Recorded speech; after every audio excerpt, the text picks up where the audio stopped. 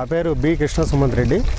నేను ఒక మండల అగ్రికల్చర్ ఆఫీసర్ చింతకొమ్మదిన్న ప్రస్తుతం మనం ఇప్పపెంట అనే విలేజ్లో ఉన్నాము. జెడ్బిఎన్ఎఫ్ ప్రోగ్రాం కింద మనం తక్కువ ఖర్చుతో ఎక్కువ దిగుబడులు ఎలా తీసుకోవాలని ప్రకృతి వ్యవసాయం ఆధారంగా ఆ ప్రోగ్రాం మీద మనం ఇక్కడ పసుపులో ప్రస్తుతం బీజామృతంతో విత్తన శుద్ధి ఎలా చేయాలి దానివల్ల వచ్చే లాభాలు ఏంటి తెలుసుకుందాం.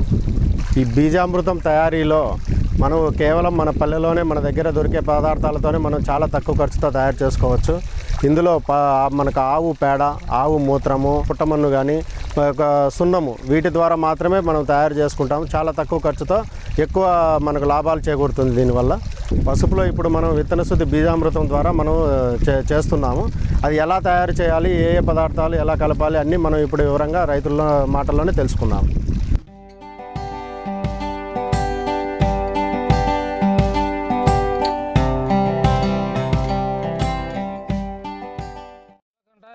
ఎత్తుకోమతాడా బీజామృతం తయారు చేసుకోవడానికి గోమూత్రం తీసుకొని వెళుతున్నా. బీజామృతమా? బీజామృతంతో పశు విత్తన శుద్ధి చేసుకోవచ్చా? అది ఎట్లా? బీజామృతం ఎట్లా తయారు చేసుకోవాలి? నేను బీజామృతం తయారు చేసి పశు విత్తన శుద్ధి చేయడానికి వెళ్తున్నా. మీరు కూడా వచ్చి తెలుసుకుందిరండి.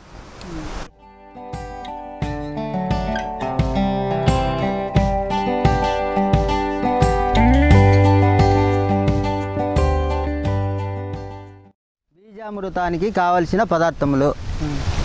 ఐదు కేజీల ఆవు పేడ ఐదు లీటర్ల ఆవు మూత్రము ఇరవై లీటర్ల నీరు యాభై గ్రాములు సున్నము గుప్పెడు పుట్టమట్టి లేదా గట్టుమట్టి.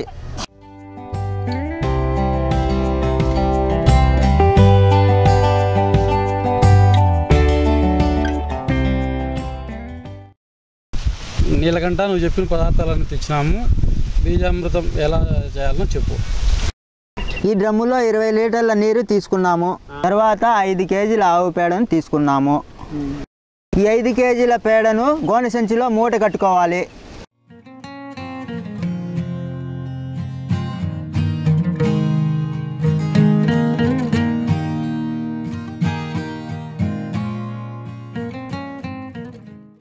మూట కట్టుకోవాలి.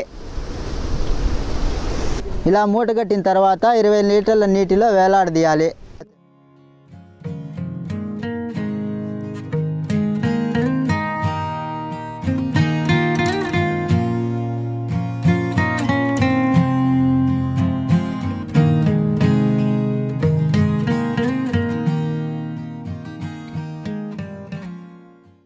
ఇరవై లీటర్ల నీటిలో ఈ విధంగా వేలాడదీయాలి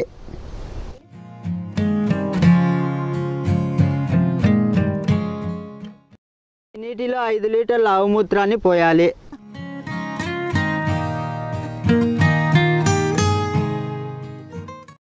తర్వాత ఒక లీటర్ నీరు తీసుకొని యాభై గ్రాముల సున్నము ఒక పిరికెడు పుట్టమట్టి లేదా గట్టుమట్టిని ఈ ఈ లీటర్ నీటిలో కలుపుకొని తర్వాత ఈ ద్రావణంలో కలుపుకోవాలి.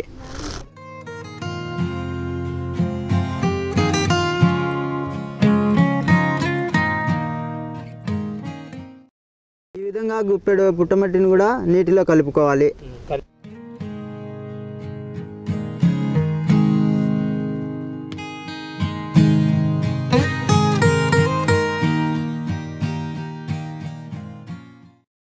ఈ విధంగా కలిపిన సున్నము పుట్టమట్టిని ఈ ద్రావణంలో పోయాలి.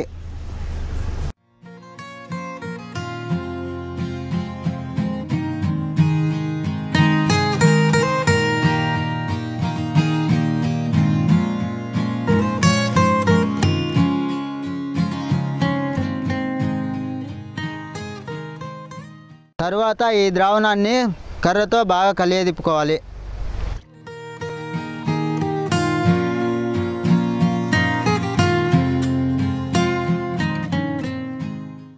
ఇలా తయారు చేసిన ద్రావణాన్ని నీడ ప్రదేశంలో ఉంచి పన్నెండు గంటల వరకు గోనె సంచితో కప్పుకోవాలి.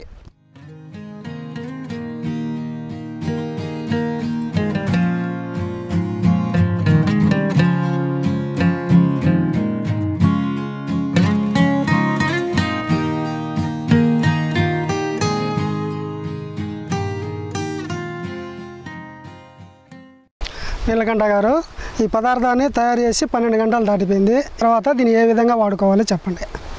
పన్నెండు గంటల తర్వాత ఈ కప్పిన గోనె సంచిని తీసేసి ఈ మూటను బాగా పిండాలి.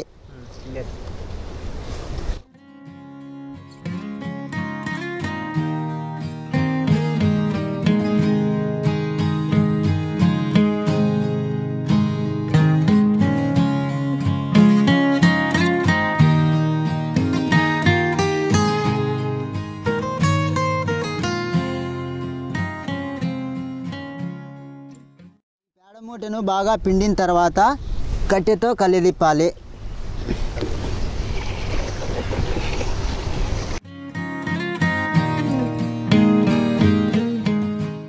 బీజామృతం తయారైంది.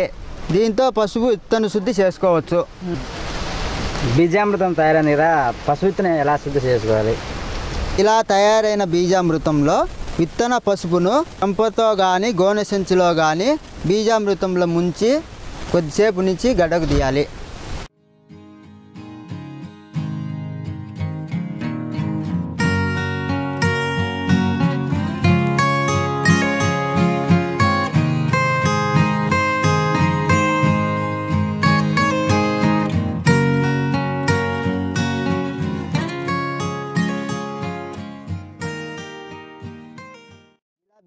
బీజామృతంలో ముంచిన విత్తన పసుపును బయటకు తీసి నీడలో ఆరబెట్టాలి.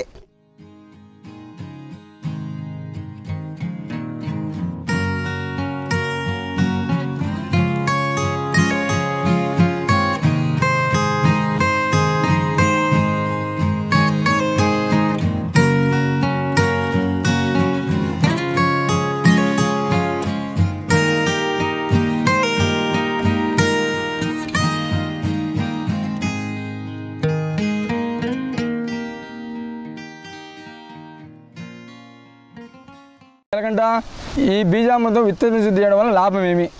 బీజామృతంతో విత్తన శుద్ధి చేయడం వల్ల పసుపులో మొలక శాతం బాగా ఉంటుంది. భూమిలో నుంచి సంక్రమించే తెగుళ్ళు ఆశించవు. మొక్కలు ఏపుగా పెరుగుతాయి. మొక్కలలో వ్యాధి నిరోధక శక్తి ఎక్కువగా ఉంటుంది. ఎందుకంటే ఈ బీజామృతం ఎన్ని రోజులు నిల్వ ఉంచుకోవాలి? బీజామృతాన్ని తయారైన వెంటనే ఉపయోగించుకోవాలి. నిల్వ ఉండదు.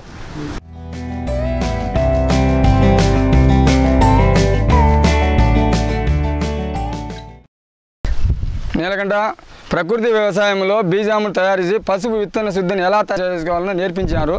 ఇన్ని మంచి విషయాలు తెలియజేసినందుకు మీకు ధన్యవాదాలు. మీరందరూ కూడా ఇదే విధంగా చేసుకోవాలని ఆశిస్తున్నాను. ధన్యవాదాలు.